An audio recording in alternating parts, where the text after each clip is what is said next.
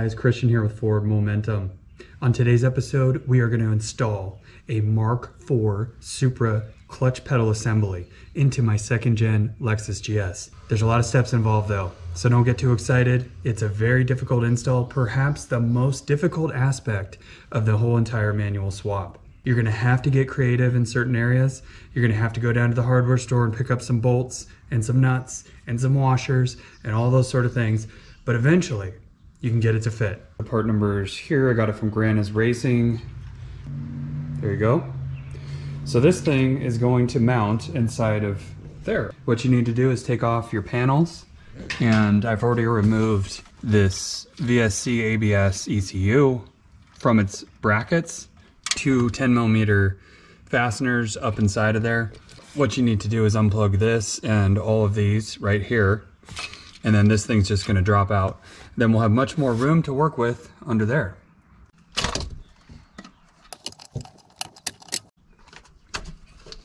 Remove your sill so you can peel back your carpet. You need to get yourself as much room in here as you possibly can. What I'm gonna do next is this firewall insulation, I'm gonna deal with it.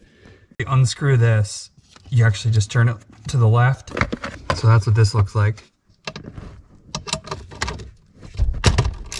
Loosen, and remove, and it should come off after that, I believe. Yeah, this is the correct one. That one right there. So this is gonna be out of the way now, which is great. Just don't go too deep into it and then it should pop out like that. And that'll allow you to tuck it a little bit up in here. And uh, now we're just gonna be really careful. This is, you probably won't have this wire because this runs to my Apexi Neo air fuel controller.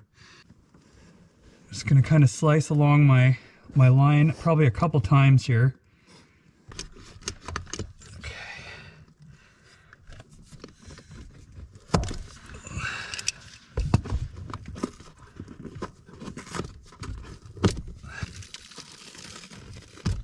Next, you're gonna have to deal with all this. The reason you're gonna have to deal with all this is, see how this contacts up there? There's not really a good way to get this up in there without moving that. I mean, it's all that has got to be moved in order to support this. This wire cover has got to be destroyed and you got to do it really carefully. And the reason you're going to have to do that is because this whole main bundle has got to move outboard in order for the clutch pedal assembly to fit up in here. The only way to get to this is either take your dash off or pull on this and just destroy it in numerous pieces. But you got to be careful not to jam pliers into any wires. So what I'm doing right now is I'm just purposely destroying this thing. There's a piece.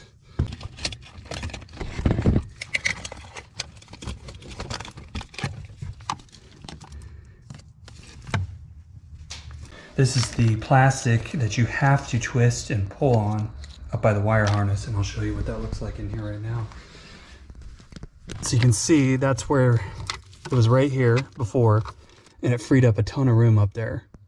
So I've gained access to this bracket that's up here and I have taken some pliers and bent it that way. And then you can see I've started to test fit the pedal in this area and you can see all the scratches on the firewall. That stud sticking out is going to be approximately the center point of where your clutch master cylinder will come through the firewall. So that's kind of a good spot to aim for. You can see that I've moved a lot of the wiring. I've also taped some up to protect it once I had access to it. It's quite the mess in here and it's a tough job. I mean, they never designed the car for this. Also worth noting on this pedal assembly is where I cut it, there's a couple spots that I'm going to cut it. Um, one I already cut right here. There's a kind of a sharp edge sticking out and it was hitting a bracket under the dashboard there. So I just cut that off. It's not really structural or anything. It'll be fine. And then in order to make this fit on that bracket I was just showing you on the video, you're going to need to chop that metal spacer down and that'll give it a better angle uh, for the clutch pedal and how it sits next to the brake pedal.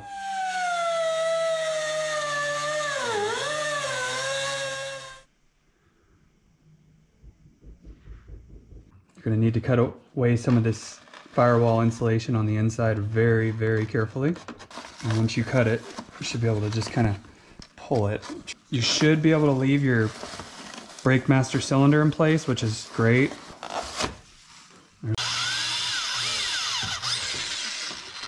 Okay, get your pilot hole drilled. Uh, there's gonna be two layers, an interior layer of the firewall and an exterior layer, so a double wall. And then what I suggest doing once you get through is to try to push something through that won't damage any wiring to kind of see where you are.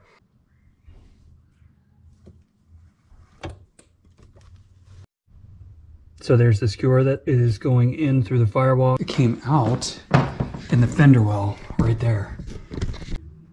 Once you add a mark to your skewer on how long it is, you can measure it and then go to the store and pick up a bolt that would be long enough to fit the position. And then you should do the same thing for the other positions so that you can go to the store just one time.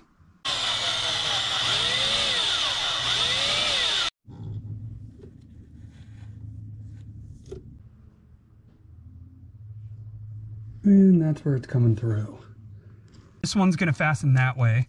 This one here, I ran it the other direction, made a stud out of it. It's kind of standing off with a nut. So it's, I'm gonna do like thread locker and all this stuff as well, because you know, we don't want this thing coming loose. So I'm gonna do fastened at these two positions. There is another position, but it's pretty much impossible to get. So these two plus this upper right up there that I showed you earlier, that's what I'm gonna be doing. Uh, right now, because I have it tacked in place, I'm gonna mark off the hole for where the clutch master cylinder come through the firewall. That's what I'm, that's the reason I tacked it up. I do want to point out why you need to cut this Mark IV pedal assembly because it will interfere with this otherwise. So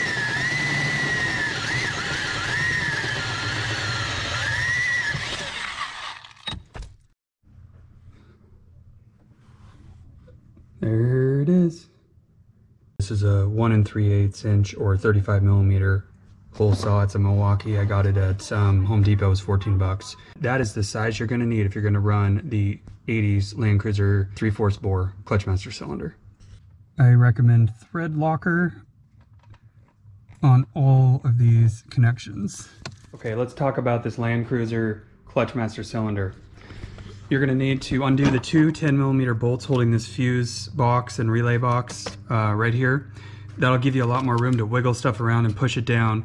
And what's going to happen is the hole that we previously drilled through is actually perfectly sized for this stud, but we're going to take the stud out of this here and it's going to run, the fastener is going to run through the firewall, through this, and then we'll secure it with a nut this way.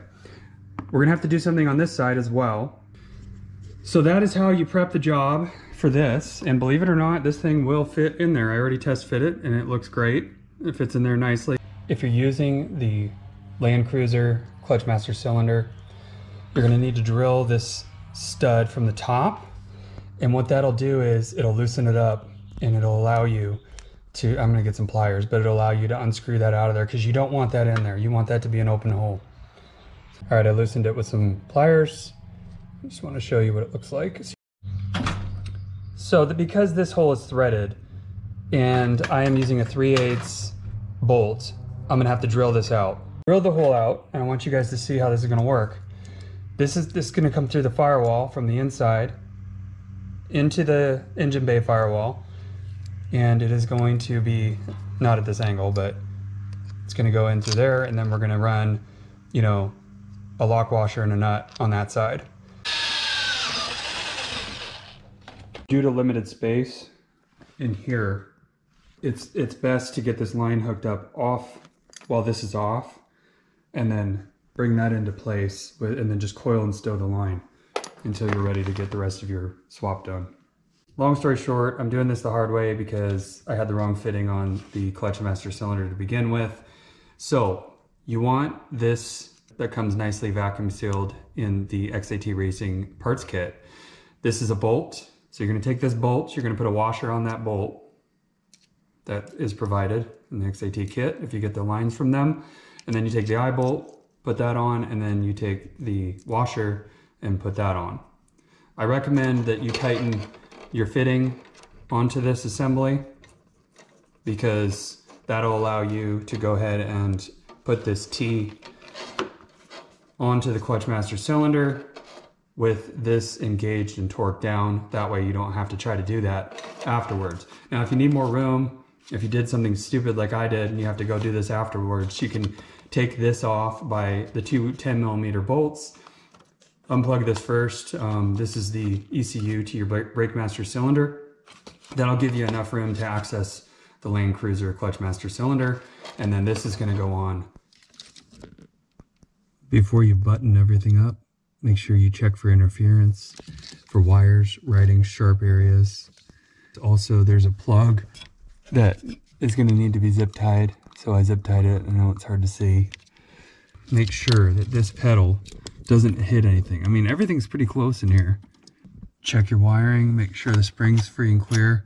And also that I know this clutch master cylinder is not hooked up right now because you need an extension on there. So I'm just showing right now how you make sure and double check everything, but it looks super close. Tolerances look close, but most of the stuff is mounted back in the standard location even with the clutch pedal installed, so that's pretty cool.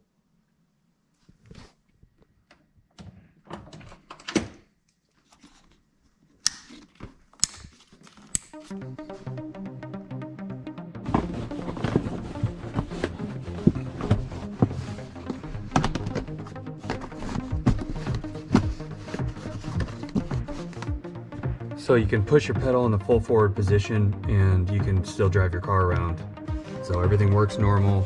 I'm gonna paint this arm black and again, I'm waiting on the Clutchmaster cylinder clevis extension, which is coming in the mail. Once I get that put in, I'll get it hooked up to the pedal itself and we'll be pretty much ready to go with this part of the installation. But I got 95, maybe 98% of it out of the way. So that is fantastic news.